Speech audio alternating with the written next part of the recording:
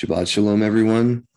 Today is the 28th of the 12th month on our Creator's calendar, possibly the year 5922 from creation, which we're, we're still looking into. But it is also the third of the 12th month, or I'm sorry, the 12th of the third month on the Gregorian calendar in the year 2022. Sorry about that. and we are continuing with our reading of and study through the recognitions of Clement today. This is chapter 26. We're, we're going to reread this chapter as we continue on. And he's going into detail, Kepha preaching to the people about the things that had happened in the past. The whole purpose of preaching in this manner for him is to give context for the cause and effect for the reason why things are. How idolatry happened, the cause of these things, and who it is that we're actually having to combat against in this world and this life that we have. Just one moment. So, chapter 26, this is evil Melachim or messengers, seducers. Now, therefore, since you do not yet comprehend how great darkness of ignorance surrounds you, meantime, I desire to explain to you whence the worship of idols began in this world. And by idols, I mean those lifeless images that you worship, whether made of wood or earthenware or stone or brass or any other metals. Of these, the beginning was in this wise certain messengers or melachim, having left the course of their proper order, began to favor the vices of men, and in some measure to lend unworthy aid to their lust, in order that by these means they might indulge their own pleasures the more. And then that they might not seem to be inclined of their own accord to unworthy services, taught men that demons could, by certain arts, that is, by magical invocations, be made to obey them. And just for context, magical invocations is what they'd call paganism or witchcraft today, and it's synonymous with ancient pagan religions of old, including what Rome would do and their Caesar was the high priest of.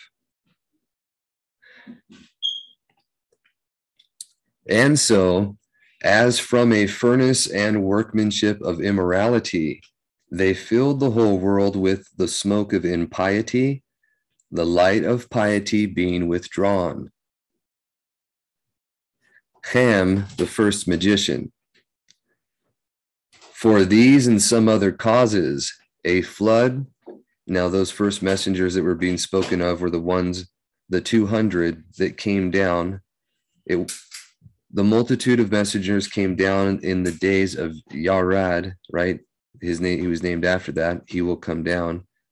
And they were meant to be like the judges to teach men righteousness and to help them in right ruling and living a way pleasing to our Maker. But 200 of them turned apostate and did, you know, wrong things. As Azazel was specifically condemned and all sin attributed to him which was perpetually remembered by the righteous through the ages with the uh, Azazel goat, if you will. But it's the same way that all things are perpetually remembered by the righteous. The four remembrance Yamim or the four remembrance the Kodashim for the beginning of the seasons instituted by Noah, perpetual for the righteous, just like the feast days and all the other things that he enjoined so that you walk out the truth. That's the whole point of it. But getting back to here, um, it says, For these and some other causes, a flood was brought upon the world. And as we have said already, and will say again, and all who were upon the earth were destroyed, except the family of Noah who survived with his three sons and their wives. One of these, by name Ham, dishonorably discovered the magical art and handed down the instruction of it to one of his sons, who was called Mitzrayim, from whom the race of the Mitzrayim and Babylonians and Persians are descended. This is something that most people don't comprehend, but when you really look into the profane history on these accounts, you'll see that there's two mentioned as Zoroaster. The one that's called the Zoroaster of Baraktia was also who is Mitzrayim. And he had first done things in his own country. He built the Nile, is something that you can learn about in his name itself. And um, it's gone over in detail in Alexander Hislop's The Two Babylons. but it's also alluded to in scripture in Ezekiel where it talks about how Pharaoh, Pharaoh who made his rivers is like a serpent in them. But he had done some things in his own country, and then he went, they invaded into Shem's territory. And that was mentioned already when he was recounting things. But right here, that's why you had Nimrod ruling over Babylon, who was related to Mitzrayim, a son of Ham, a son of Cush. But Mitzrayim would have been father of his own children there. And then he intermixed with the peoples that became the Babylonians and the Persians. The Persians were also from Eleazar, the servant of Abraham, who was his adopted son. If you recall, it mentioned that he had had two sons before he had Yitzhak. Eleazar, his servant, whom he adopted, who he said, My heir is one who's of my own house, but he, he's not from my own loins, right? He was a servant and then he had Ishmael. getting back on track here, the in the profane history, Ham was also called Zoroaster, but he did most of his works in Babylon, which is also covered in the two Babylons by Alexander Hislop when he goes over the words and meanings of things with the names of these idols that are mentioned throughout scripture. It's very worthwhile to look at that but that would help all this make more con more sense and put it in context for you if you were familiar with those personally. So it's something we can go over sometime. It says him the tribes who then existed called zoroaster or zoroaster you know, admiring him as the first author of the magic art trader whose name also many scrolls on this subject exist. He therefore, being much and frequently intent upon the stars, and wishing to be esteemed a mighty one among them, began to draw forth, as it were, certain sparks from the stars. He, he would call lightning down from the stars, basically. Not something that seems feasible in the heliocentric model, but if you're familiar with how creation actually works and how it's described in scripture, it perfectly functions that way. And there's actually documented evidence when lightning strikes happen, the stars flash brighter, like it's powering down from it. It's rather interesting stuff. This is, he would begin to draw forth, as it were, certain sparks from the stars and to show them to men in order that the rude and ignorant might be astonished, as with a miracle, and desiring to increase this estimation of him, he attempted these things again and again until he was set on fire and consumed by the demon himself, whom he accosted with too great importunity. But the foolish men who were then whereas they ought to have abandoned the opinion that they had conceived of him, inasmuch as they had seen it confuted by his mortal punishment, extolled him the more.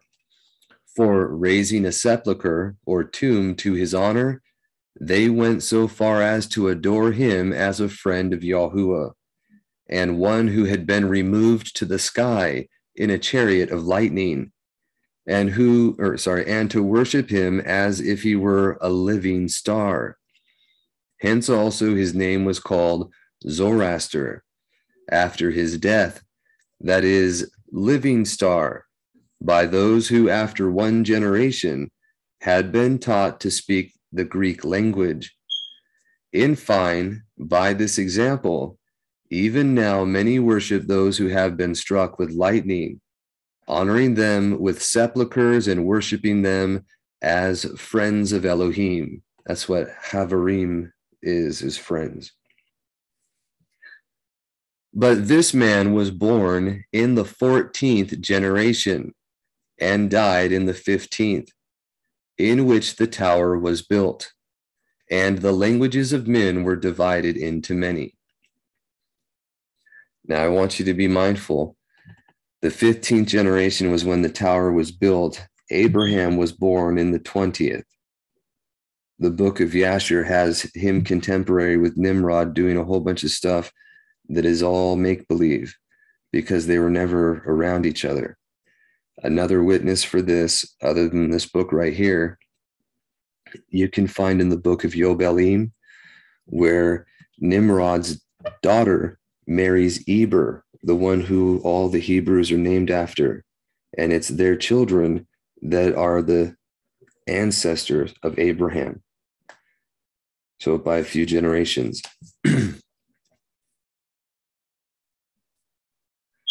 This is, but this man was born in the 14th generation and died in the 15th, in which the tower was built, and the languages of men were divided into many.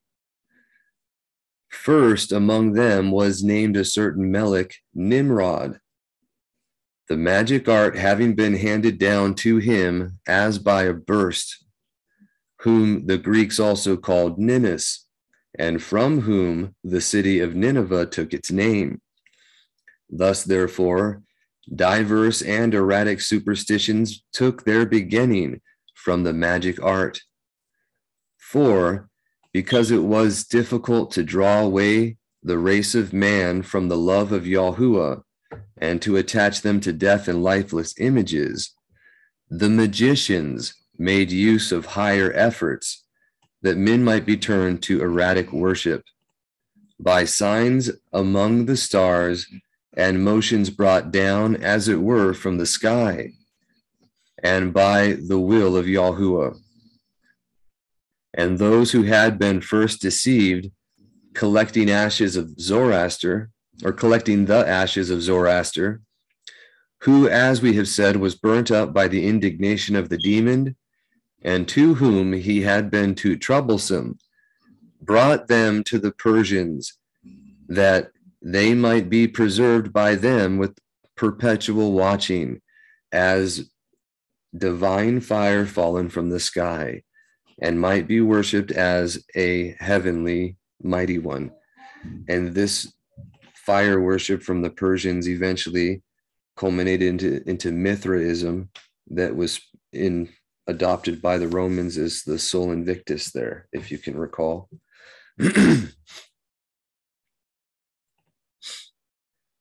chapter 30, hero worship.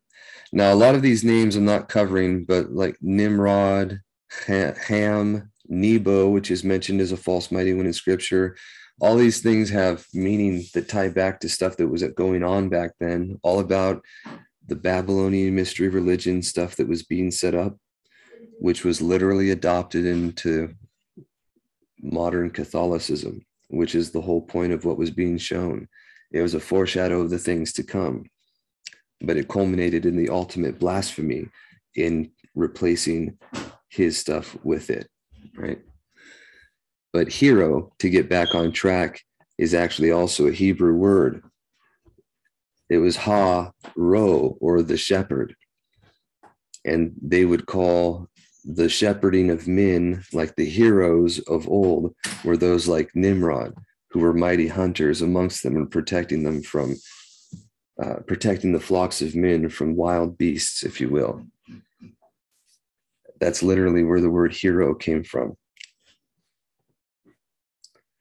But hero worship,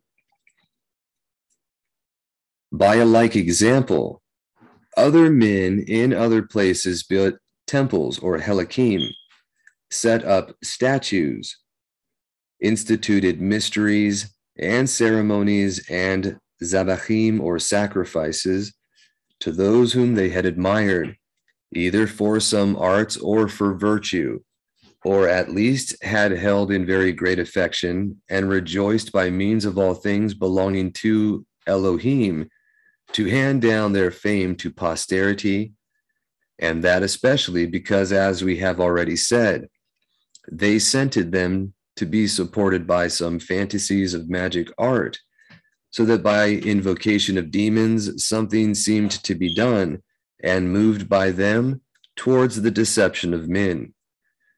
To these they add also certain solemnities and drunken banquets. Now, if you remember, to have the the ruach of our maker and to have the power from on high, you have to do the things that he enjoins. Walk in innocence and obedience to him. Kepha goes on into more detail in that later. But the contrary is true if you want to have the magical arts from the adversary. You have to do the things that are contrary to what's true, loving, and right. Literally, every abominable sin that you can think of, everything that he disapproves is what is required to be his choice chosen ones. And that's what is an abomination to our maker. But to get back to that, that's why these things are instituted and why all those things lead to corruption for those that partake in them. This is to these, they add also certain solemnities and drunken banquets in which men might with all freedom indulge, and demons conveyed into them in the chariot of bloating or overindulgence, right? Not being moderate, might be mixed with their very bowels, and holding a place there, might bind the acts and thoughts of men to their own will. Such errors, then, having been introduced from the beginning, and having been aided by lust and drunkenness, in which carnal men chiefly delight, the obedience of Elohim, which consists in continuance and sobriety, began to become rare amongst men and to be well nigh abolished. For whereas at first men worshiping a righteous and all seeing Yahuwah neither dared sin nor do injury to their neighbors, being persuaded that Yahuwah sees the actions and movements of every one. When religious worship was directed to lifeless images, concerning that they were certain that they were incapable of hearing or sight or motion, they began to sin licentiously and to go forward to every crime, because they had no fear of suffering anything at the hands of those of whom they worshipped as mighty ones. Hence the madness of wars burst out, hence plunderings, rapines, captivities, and liberty reduced to slavery. Each one, as he could, satisfied his lust and his covetedness, although no power can satisfy covetedness. For as fire, the more fuel it gets, the more extensively it is kindled and strengthened, so also the madness of covetousness is made greater and more vehement by means of those things that it acquires. So begin now with better comprehension to resist yourselves in those things that you do not rightly desire. He doesn't go into too much detail here, but you can have desires from outside influences in the Proverbs, it says that a man who has no control over his ruach or spirit is like a broken down city or an unfortified city without a wall, meaning that you're overcome by every enemy that comes upon you. It's put in a different way with the shepherd of Hermas, where he explains the two messengers or the two ruachoth that rule over men. And he says, the messenger or the shepherd speaking to Hermas says, when anger or or lust or covetousness come upon you, know that he is in you and resist those urges because that's not from our creator. Right? In medical terms, and you can look this up, with um, Henry Wright's book, A More Excellent Way, and also with that lady, although there's some things about her I don't really want to get into. They talk about your active cognitive thoughts or your alpha waves, the the involuntary processes that you have no control over, your beta waves, and the thoughts from outside of you that come from other Ruachoth, whether from Yahuwah or from the enemy, they actually register as theta waves. And children that have autism, for example, or other people who are communing with spirits or seeming to send messages through telepathy, they actually have theta wave brain function that happens when that happens. And that's demons or influences from unclean spirits speaking to them. That's how that actually works. But and that's also explained for another witness of these things by John Todd in his testimonies when he goes into witchcraft. He plainly tells you that telepathy, telekinesis, ESP, and all those things are from demons, and it's not. It, that's what magic is, which is what Kef is saying right here. He says, So begin now with better comprehension to resist yourselves in those things that you do not rightly desire.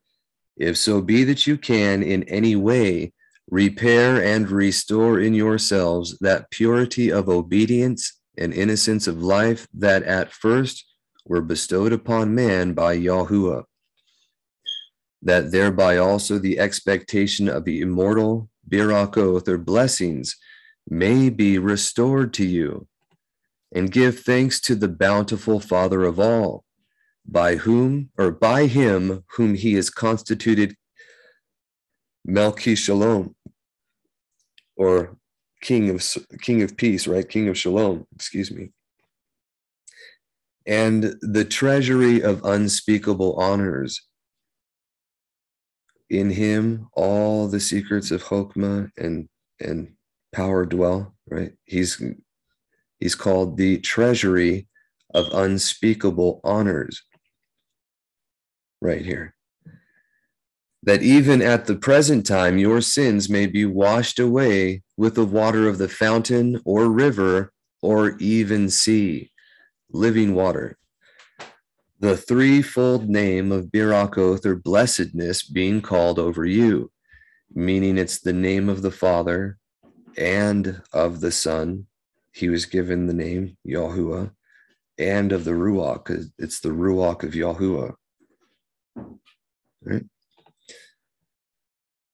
The threefold name of Biraka being called over you, that by it not only evil spirits may be driven out, if any dwell in you, but also that when you have forsaken your sins, and have with entire belief and entire purity of mind believed in Yahuwah, you may drive out immoral spirits and demons from others also, and may be able to set others free from sufferings and sicknesses. For the demons themselves know and acknowledge those who have given themselves up to Yahuwah, and sometimes they are driven out by the mere presence of such as you saw a little while ago, how when we had only addressed to you the word of salutation, straight away the demons, on account of their respect for our obedience, began to cry out and could not bear our presence even for a little. And if you remember the last time we were reading that it happened when he first had came to the crowd and they all rushed in on him and he had introduced himself those afflicted with demons fell at his feet and begged for them to just be able to stay a while. And he said, No, be gone. And they were cast away. And then those that were sick came and asked him for healing. And he said, after his speech, he would pray for them. And as soon as he said that, they were all healed. So he told them to sit over on the side.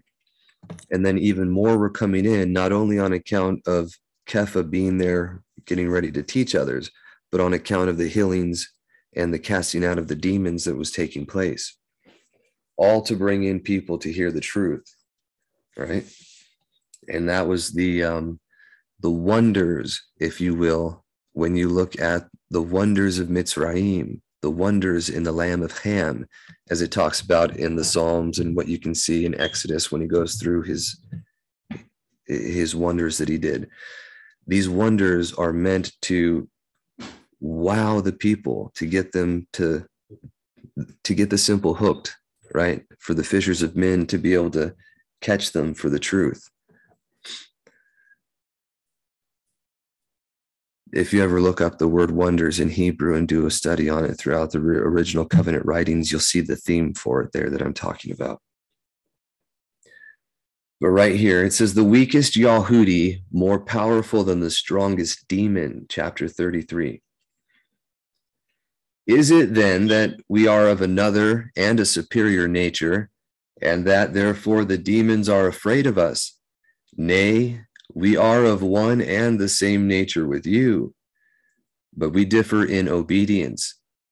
But if you will also be like us, we do not grudge it, but rather we exhort you and desire you to be assured that when the same belief and in it and obedience and innocence of life will be in you that is in us, you will have equal and the same power and virtue against demons through Yahuwah rewarding your belief or trustworthiness.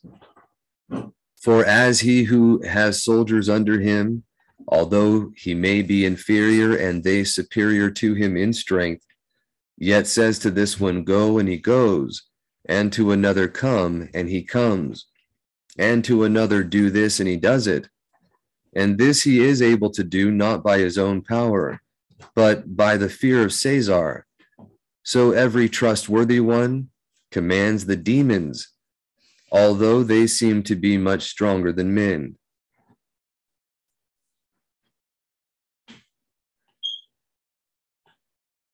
And that not by means of his own power, but by means of the power of Yahuwah who has put them in subjection. For even that which we have just spoken of, that Caesar is held in awe by all soldiers and in every camp and in his whole kingdom, though he is but one man and may be feeble in respect of bodily strength. This is not affected but by the power of Yahuwah, who inspires all with fear, that they may be subject to one.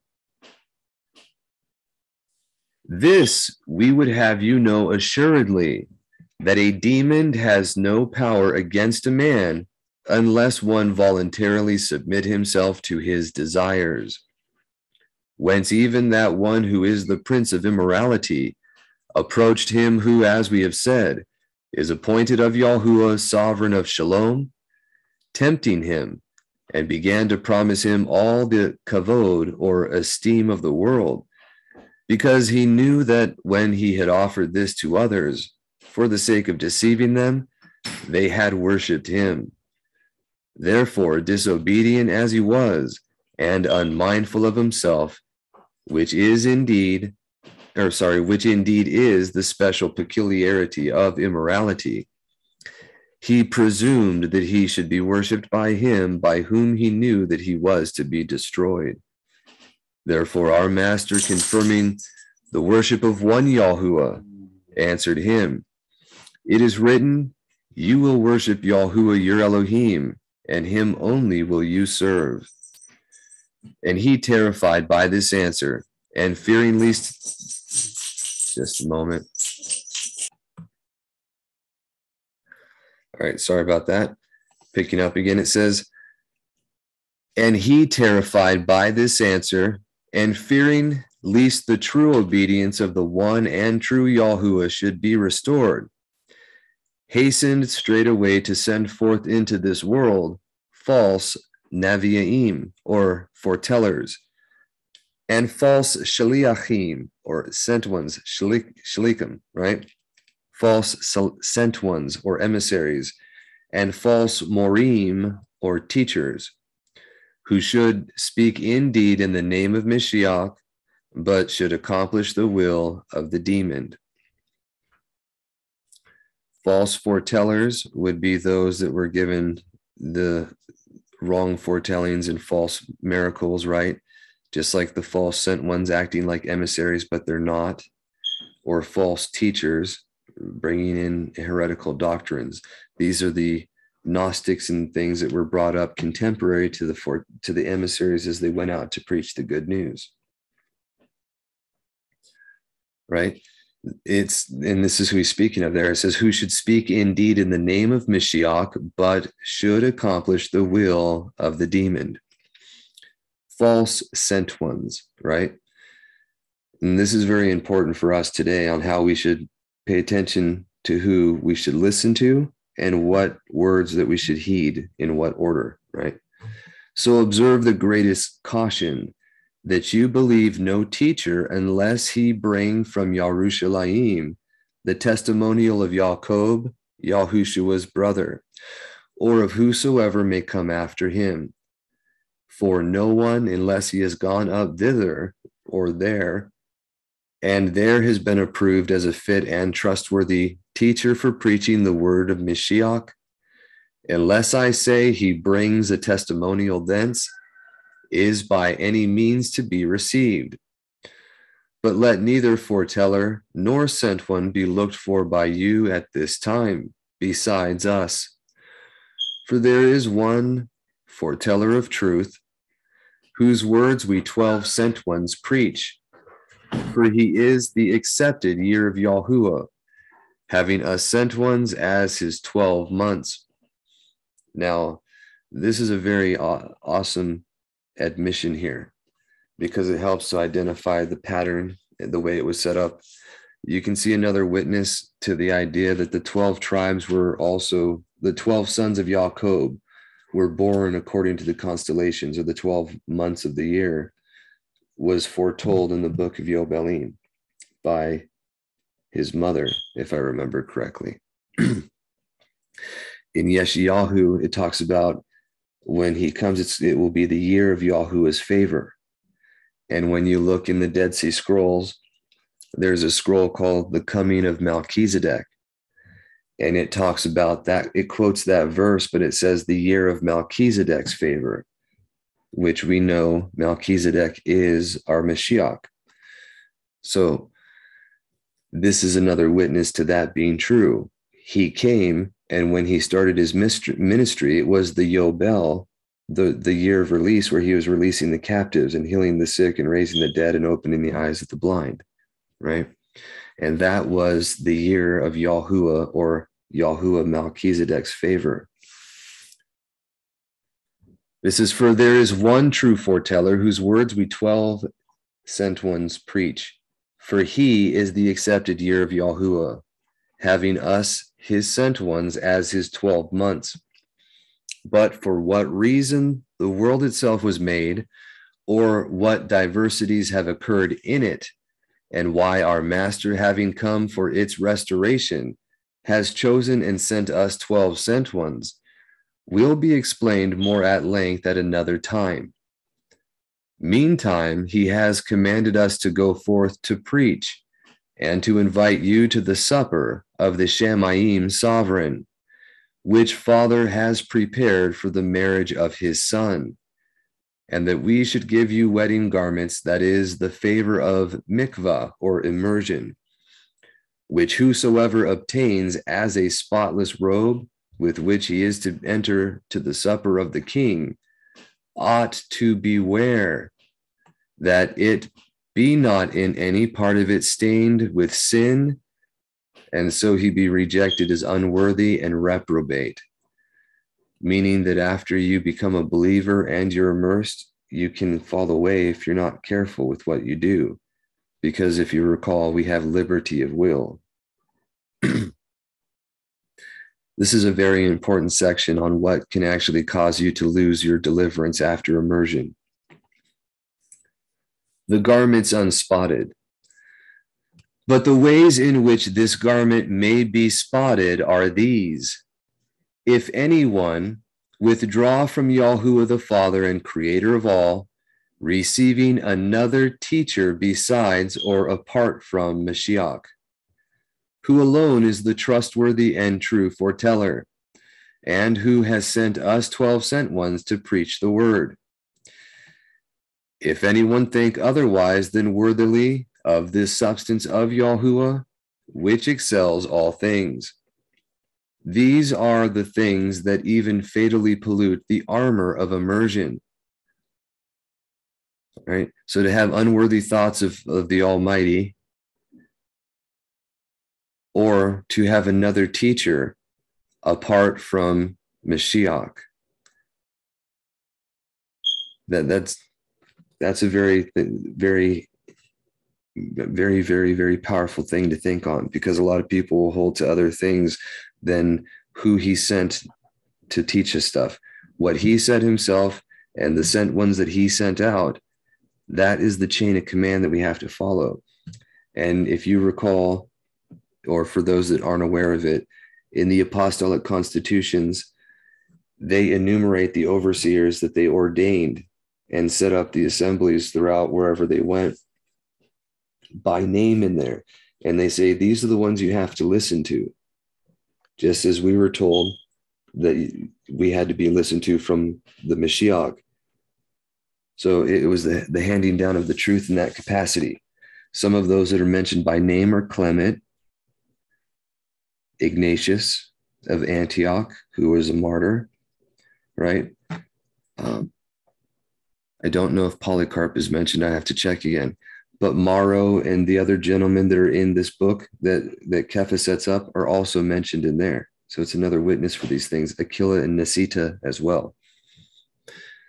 but to continue real quick, it says, but the things that pollute it in actions are these.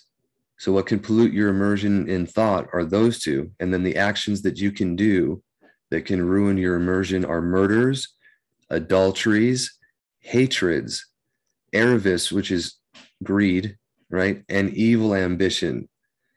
And the things that pollute at once the inner or the ruach, which probably the, the inner being and the body, are these to partake of the table of demons, that is to taste things sacrificed, or blood, because it's prohibited and it's a death sentence, if you recall or a carcass that is strangled. And if there be aught else that has been offered to demons, be this therefore the first step to you of three, which step brings forth 30 commands, and the second 60, and the third 100, as we will expound more fully to you at another time. So you see, he gives the basics that you have to do to be pleasing to your maker, just like it was enjoined for the nations that were turning to him.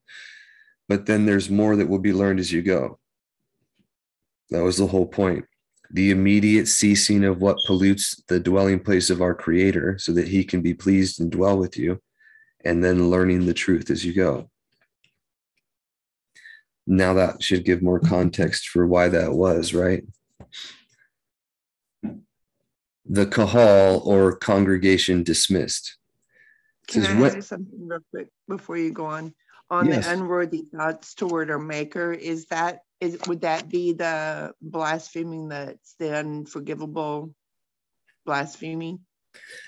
Attributing his works to the adversary is certainly unworthy thoughts, but also to like what Simon was doing earlier when he was saying that he was weak or ineffectual or that these things that he was doing was evil that those kind of things are what he's talking about. To have thoughts like that of him uh, or to go to some other for teaching like he's holding to things contrary to the word and what our Mashiach said Simon the magician is. And because of that and because of the things he said he fatally polluted the immersion that he had received if you recall, he was he became a believer in the book of Acts. He was immersed and he followed along with them. But he had turned from that because of these very things. And so he's warning these people as he's preaching about the things that he's learned that you have to be mindful of. All right. Thank you. Certainly. So it says, when he had thus spoken, and had charged them to come to the same place in a good time on the following day, he dismissed the crowds. And when they were unwilling to depart, Kepha said to them, Do me this favor on account of the fatigue of yesterday's journey, and now go away and meet me in good time tomorrow. And so they departed with joy. But Kepha, commanding me to withdraw a little for the purpose of prayer, afterwards ordered the couches to be spread in the part of the garden that was covered with shade. And everyone, according to custom, recognizing the place of his own rank, we took food. This is important because he mentions this in his epistle, Clement to the Corinthians, talking about each in their appointed place and rank in the body of Mashiach. in the Dead Sea Scrolls with the community rule and the Damascus document, they would every year go in in order rank of file with the, the Kohanim first, then the sons of Lewi, then the children of Israel, and then the converts that joined them, each in rank in order according to the dignity of their, their family and their tribe, their position, and then according to their intelligence or the chokmah that was in them. So it, it was conditional on that. And every year, the guardian of the the guardian of these um, they had it set up where they had these different strongholds in the wilderness where believers would congregate.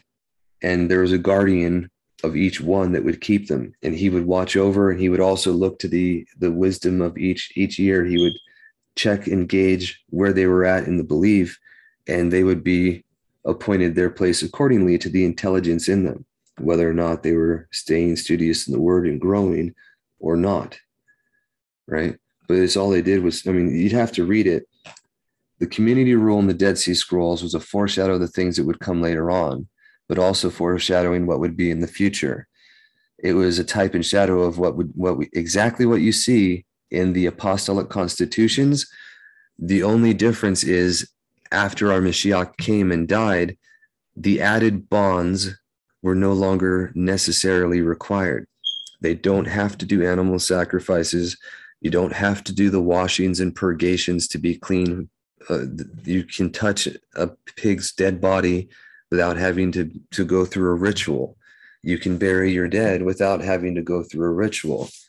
It's something that was established because of transgression to teach them righteousness in simple childlike terms if you can see it but that's for another time right here though the important thing is everyone recognizing his own place and rank so everyone according to their position in the body was at shalom with one another right and then they took food it says then as there was still some portion of the day left he conversed with us concerning Yahuwah's miracles. And when evening was come, he entered his bedroom and went to sleep. These are things that we should be doing with our time too, when we're when we have our the ability to do so. and then the next part would be the book five. So it would be starting on the next section here. I'm just going to pause for a moment. So this is book five, chapter one, Kepha's salutation. Yet on the following day, Kepha, rising a little earlier than usual, found us asleep. And when he saw it, he gave orders that silence should be kept for him, as though he himself desired to sleep longer, that we might not be disturbed in our rest. But when we rose refreshed with sleep, we found him having finished his prayer, right? Waiting for us in his bedroom. And as it was already dawn, so you see, he was praying at dawn. This is a theme that you'll see throughout, and it's something that's enjoined for believers in the apostolic constitution. You can see evidence of it in scripture when they came to the time of incense and prayer for Zechariah, for example where believers would, or the believers in Yerushalayim who felt inclined would go to do so along with the Kohanim. And then that's the very thing that's enjoined for them. You also see in the Dead Sea Scrolls, they have examples of morning and evening prayers and things like that that the, that the would do, and also the songs that they would sing, which are rather interesting. But we only have fragments of them anymore. However, he says, as it was already dawn, he addressed us shortly, saluting us according to his custom, and forthwith proceeded to the usual place for the purpose of teaching. And when he saw that many had assembled there, having invoked shalom upon them according to his usual manner, he began to speak as follows. Elohim, the creator of all, at the beginning made man after his own image and gave him dominion over the earth and sea and over the air, as the foreteller of truth has told us, and as the very reason of things instructs us. And this is what our Constitution and our founding documents affirm that all men are created equal that they are endowed by their creator with certain unalienable rights. We are given dominion, and it's the people collectively that are sovereign. That is exactly how our, our country was founded under the principles that are in Scripture. But um, in the contrast of that, when you forsake the dominion he's given you and you yield it up to the enemy, it, it culminates into the one he chose. And that's why you have the little horns known as the overseer of the Roman assembly, um, uh, what they call the papacy there, they claim to have full ownership of all land, air, and sea and the souls of men, right? In the very same fashion as a usurper of all that is called Elohim and that is worshiped, just like it's written. It says, For man alone is rational and it is fitting that reason should rule over the irrational. At first, therefore, while he was still righteous, he was superior to all disorders and all frailty. But when he sinned, as we taught you yesterday, and became a servant of sin, he became at the same time liable to frailty. This, therefore, is written that men may know that as by disobedience they have been made liable to suffer, so by obedience they be made they may be made free from suffering, and not only free from suffering, but by even a little belief in Elohim, be able to cure the sufferings of others. For thus the foreteller of truth promised us, saying, Amen, I say to you, that if you have belief as a grain of mustard seed, you shall say to this mountain, Remove hence, and it will remove. Of this saying, you have yourselves also had proofs. For you saw yesterday how at our presence the demons removed and were put to flight, with those sufferings that they had brought upon men. Whereas, therefore, some men suffer, and others cure those who suffer. It is necessary to know the cause at once of the suffering and the cure. And this is proved to be nothing else than unbelief on the part of the sufferers and belief on the part of those who cure them. That word is amuna. It means belief, trust, faith, or trustworthiness, faithfulness. It's the same word for with that meaning. So to have belief is to be trustworthy. It's it's synonymous. All right. For unbelief, while it does not believe that there is to be a judgment by Elohim, affords license to sin, and sin makes men liable to sufferings. But belief, believing that there is to be a judgment of Elohim, restrains men from sin and those who do not sin are not only free from demons and sufferings, but also put or but can also put to flight the demons and sufferings of others. From all these things, therefore, it is concluded that all evil springs from ignorance, and ignorance herself, the mother of all evils, is sprung from carelessness and sloth and is nourished and increased and rooted in the senses of men by negligence.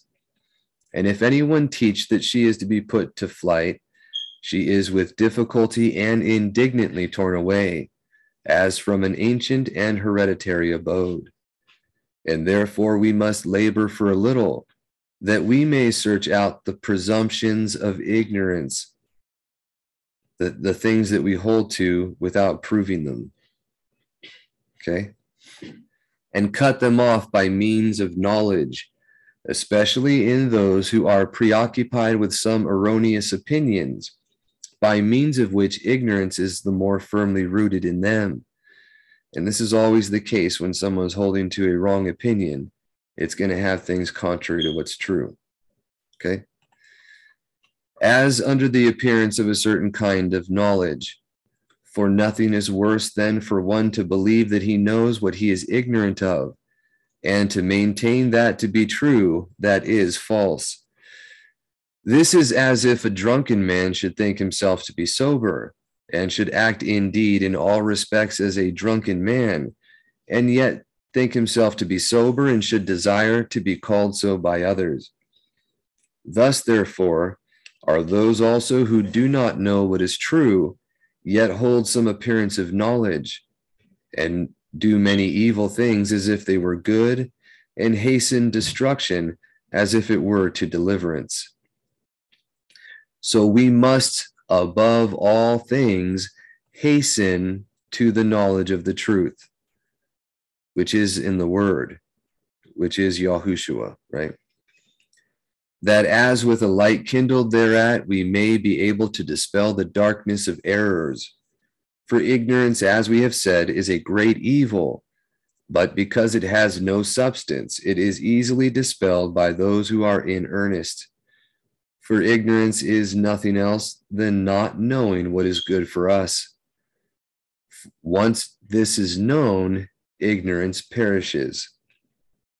Therefore, the knowledge of truth ought to be eagerly sought after, and no one can confer it except the true foreteller. Now, this says Nabia or Navia Emet, and you'll find the if you ever study Hebrew or you go to learn to read it in the classical or what they call biblical Hebrew, it's flipped around from what we have in English for the verbs. They'll put their predicate verbs at afterwards and their preceding verbs beforehand. And it's opposite from what you do in English. That's why I say true foreteller because of the way they do that. It doesn't matter if you said foreteller of truth, it means the same thing, but the correct way of doing it would be true foreteller. And there's no filler word between them. it says, for this and, or sorry, for this is the gate of life, meaning the true foreteller. To those who will enter, and the road of good works to those going to the city of deliverance. Free will, chapter 5, or sorry, chapter 6, book 5. Whether anyone truly hearing the word of the true foreteller Yahushua is willing or unwilling to receive it and to embrace his burden, that is the precepts of life, he has either in his power for we are free in will.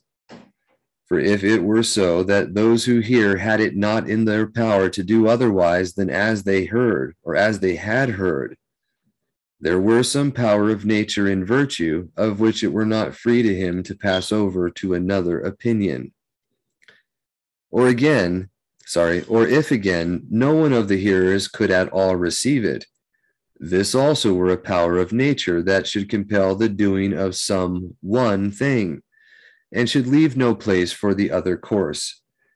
But now, since it is free, for the mind to turn its judgment to which side it pleases, and to choose the way that it approves, it is clearly obvious that there is in men a liberty of choice. Therefore, before anyone hears what is good for him or tob for him, it is certain that he is ignorant, and being ignorant, he des- wishes and desires to do what is not good for him. Therefore, he is not judged for that. But when once he has heard the causes of his error and has received the method of truth, meaning after the word of truth is come, then if he remain in those errors with which he had been long ago preoccupied, he will rightly be called into judgment to suffer punishment, because he has spent in the sport of errors that portion of life that was given to him to be spent in living well. But he who, hearing those things, willingly receives them and is thankful that the teaching of good things has been brought to him, inquires more eagerly, and does not cease to learn until he ascertains whether there be truly another world, what they call the age to come, right? In which rewards are prepared for the good. And when he is assured of this, he gives thanks to Yahuwah because he has shown him the light of truth and for the future directs his actions in all good works, for which he is assured that there is a reward prepared in the world to come. While he constantly wonders and is astonished at the errors of other men, and that no one sees the truth that is placed before his eyes.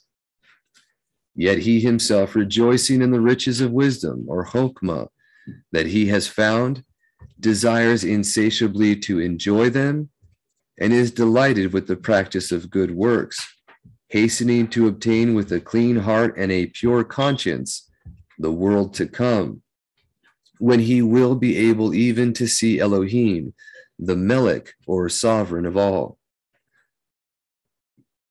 But the sole cause of our wanting and being deprived of all these things is ignorance. For while men do not know how much good there is in knowledge, they do not suffer the evil of ignorance to be removed from them. For they know not how great a difference is involved in the change of one of these things for the other. So I counsel every learner willingly to lend his ear to the word of Yahuwah and to hear with love of the truth what we say, that his mind receiving the best seed may bring forth joyful fruits by good deeds. For if, while I teach the things that pertain to deliverance, anyone refuses to receive them and strives to resist them with a mind occupied by evil opinions, he will have the cause of his perishing not from us, but from himself. For it is his duty to examine with righteous judgment the things that we say and to comprehend that we speak the words of truth, that knowing how things are and directing his life in good actions, he may be found a partaker of the Malkuth Shemayim, or what they call the kingdom of the heavens, right? The, the kingdom of the Shemayim. Subjecting to himself the desires of the flesh and becoming master of them, that so at length he himself also may become the pleasant possession or sagula, of the ruler of all.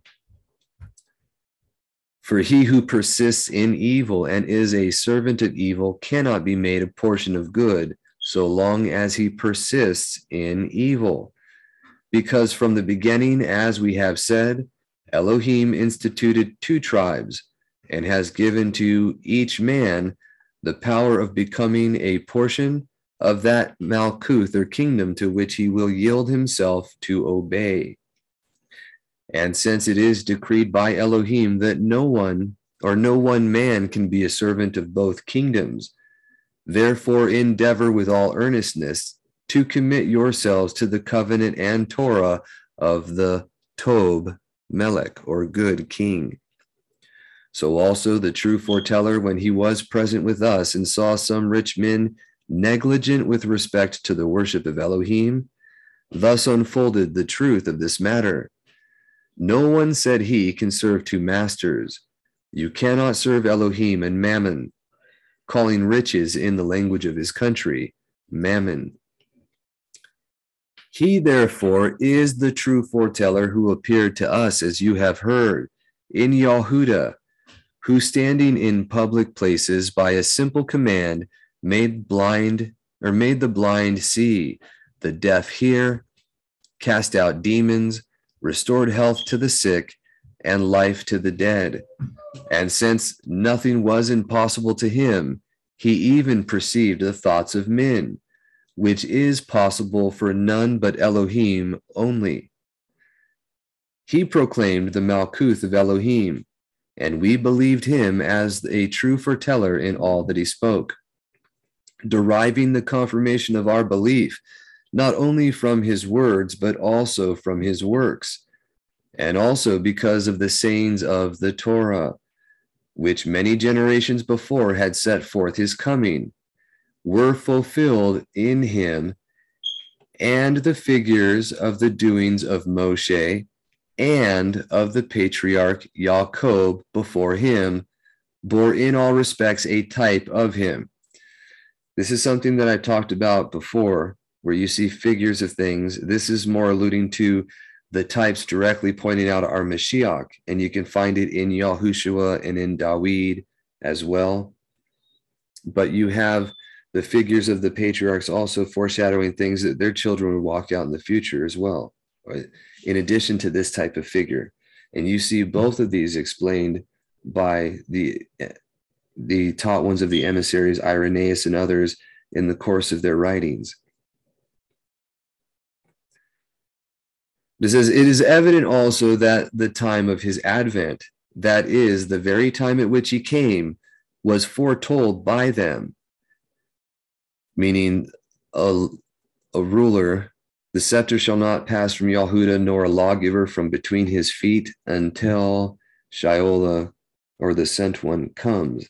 And to him is the obedience of the nations. That was foretold.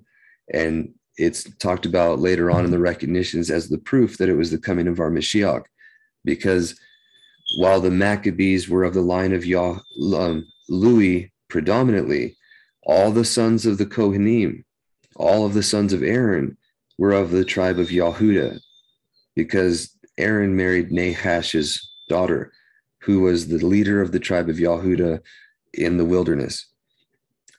Um, and that gave legitimacy for them reigning as sons of Yahuda through their the mother. That very proof has happened with Tea Tephi when she was taken by Yirmiyahu to Ireland, and they married the son of Zerah of Yahuda that was there and founded the kingdom of Ulster in Northern Ireland. Her children were of the seed of David or Dawid through her.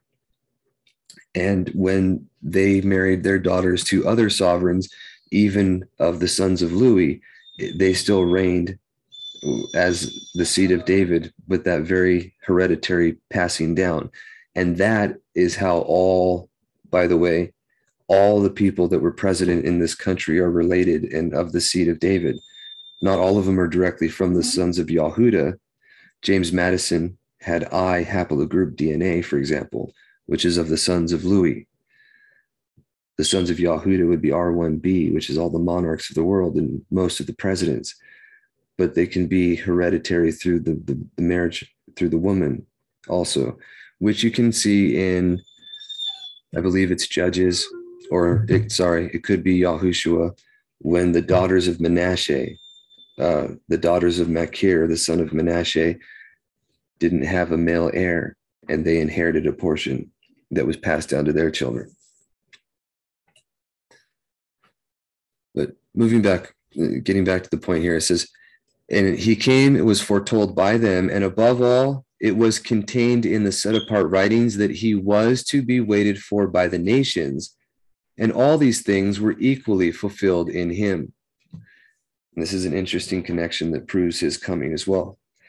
It says, Yet he whom the foreteller of the Yahudim foretold that he was to be waited for by the nations confirms above measure the truth of belief in him. For if he had said that he was to be waited for by the Yahudim, he would not have seemed to foretell anything extraordinary. That he whose coming had been promised to the deliverance of the world should be the object of hope or expectation to the people of the same tribe with himself and to his own tribe. For that this would take place would seem rather to be a matter of natural inference than one requiring the grandeur of a foretold utterance. But now, whereas the foretellers say that all that expectation that is set forth concerning the deliverance of the world and the newness of the Malkuth or kingdom that is to be established by Mashiach, and all things that are declared concerning him are to be transferred to the nations. The grandeur of the foretelling or the foretold office is confirmed, not according to the sequence of things, but by an incredible fulfillment of the foretelling. For the Yahudim from the beginning had comprehended by a most certain tradition that this man should at some time come, by whom all things should be restored, and daily meditating and looking out for his coming. When they saw him amongst them and accomplishing the signs and miracles, as had been written of him, being blinded with envy, they could not recognize him when present. In the hope of whom they rejoiced while he was absent. Yet the few of us who were chosen by him comprehended it. But this was all accomplished by Yahuwah's providence, that knowledge of this good one should be handed over to the nations and those who had never heard of him, nor had learned from the foretellers, should acknowledge him while those who had acknowledged him in their daily meditations should not know him. For behold, by you who are now present, who desire to hear the doctrine of his belief and to know what and how and of what sort is his coming, the foretold truth is fulfilled. For this is what the foreteller foretold that he is to be sought for by you who never heard of him and therefore, seeing that the foretold sayings are fulfilled even in yourselves, you rightly believe in him alone, and you rightly wait for him. You rightly inquire concerning him, that you may not only wait for him, but also believing you may obtain the inheritance of his kingdom, according to what he himself said, that everyone is made a servant of him to whom he yields subjection. So awake and take to yourselves our master and Elohim, even that master who is Yahuwah, both of Shemaim and land, and conform yourselves to his image and likeness, as the true foreteller himself teaches, saying, You all be merciful, as also your Shemaim father is merciful, who makes his sun to rise upon the good and the evil and reigns upon the righteous and the unrighteous. Imitate him, therefore, and fear him, as the commandment is given to men. You will worship Yahuwah your Elohim, and him only will you serve. For it is profitable to you to serve this master alone, that through him, knowing the one Elohim, you may be freed from the many whom you vainly feared. For he who fears not Elohim, the creator of all, but fears those whom he himself with his own hands has made, what does he do but make himself subject to a vain and senseless fear, and render himself more vile and abject than those very things, the fear of which he has conceived in his mind? But rather by the goodness of him who invites you, Return to your former nobleness and by good deeds show that you bear the image of your Creator, that by contemplation of his likeness you may be believed to be even his sons. Begin, therefore, to cast out of your minds the vain ideas of idols and your useless and empty fears, that at the same time you may also escape the condition of unrighteous bondage for those who have become your masters who could not even have been profitable servants to you. For how should lifeless images seem fit even to serve you when they can neither hear nor see nor feel anything. Yea, even the material of which they are made, whether it be gold or silver, or even brass or wood, though it might have been profited you for necessary uses, you have rendered wholly inefficient and useless by fashioning Elohim out of it. We therefore declare to you the true worship of Elohim, and at the same time warn and exhort the worshippers that by good deeds they imitate him whom they worship, and hasten to return to his image and likeness. As we said before. Sorry, and it says that by good deeds they imitate him whom they worship and hasten to return to his image and likeness, as we said before. In chapter 15, folly of idolatry. Says, Yet I should like if those who worship. So this is chapter 15, the folly of idolatry. It says, Yet I should like if those who worship idols would tell me if they desire to become like those whom they worship. Does any one of you wish to see in such sort as they see, or to hear after the manner of their hearing, or to have such comprehension as they have? Far be this from any of my hearers. For this were rather to be thought a curse and a reproach to a man who bears in himself the image of Elohim although he has lost the likeness. What sort of Elohim then are they to be reckoned, the imitation of whom would be disgusting to their worshippers, and to have whose likeness would be a reproach? What then? Melt your useless images and make useful vessels. Melt the unserviceable and inactive metal, and make implements fit for the use of men but, says one, man's laws do not allow us. He says, well, for it is man's laws and not their own power that prevents it. What kind of Elohim then are those that are defended by man's laws and not by their own energies? And so also they are preserved from thieves and by watchdogs and the protection and the protection of bolts. At least if they be of silver or gold or even of brass.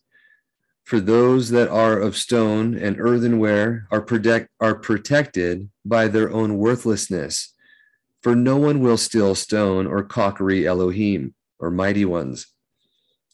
Hence, those seem to be the more miserable, whose more precious metal exposes them to the greater danger. Since then, they can be stolen, since they must be guarded by men since they can be melted and weighed out and forged with hammers, ought men possessed of comprehension to hold them as mighty ones? Oh, into what wretched plight eh, the imagination of men has fallen. For if it is reckoned the greatest folly to fear the dead, what will we judge of those who fear something that is worse than the dead are? For those images are not even to be reckoned among the number of the dead, because they were never alive. Even the sepulchres of the dead are preferable to them, since although they are now dead, yet they once had life. But those whom you worship never possessed even such base life as in all, the life of frogs and owls. But why say more about them, since it is enough to say to him who adores them, Do you not see that he whom you adore sees not? Hear that he whom you adore hears not, and comprehend that he comprehends not. For he is the work of man's hand, and necessarily is void of comprehension. You therefore worship an Elohim without sense Whereas everyone who has sense believes that not even those things are to be worshiped that have been made by the true Elohim and have sense, such as the sun, moon, and stars, and all things that are in the sky and upon earth. For they think that reasonable, or sorry, sorry, for they think it reasonable that not those things that have been made for the service of the world, but the creator of those things themselves and of the whole world should be worshiped. For even those things rejoice when he is adored and worshiped, and do not take it well that the honor of the Creator should be bestowed on the creation.